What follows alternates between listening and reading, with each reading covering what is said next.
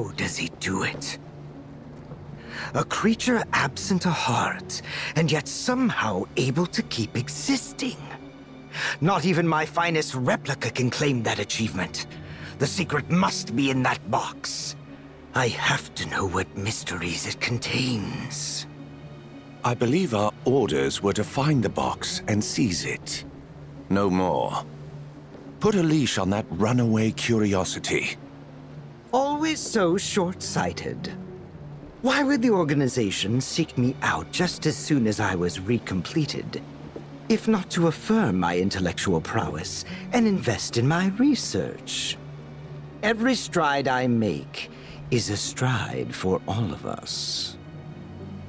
Oh, really? And what exactly are we striding towards? Hmm? Luxord, do I detect a hint of treachery in your words? What? Don't be absurd. But to be clear, I serve the organization. I don't share your need to please Xemnas. He's good at wrapping you around his little finger. Always has been. Hmm.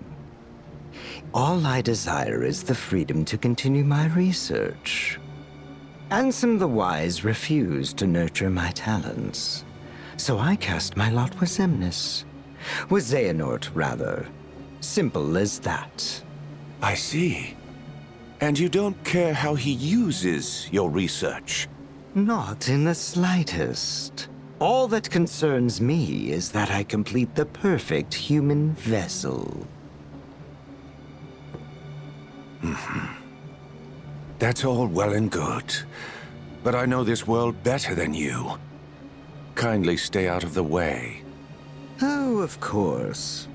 Considering those pests have shown up, I'd hardly get anything done.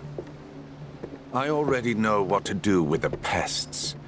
Then you can resume your stuffy studies. Ah, that's my boy.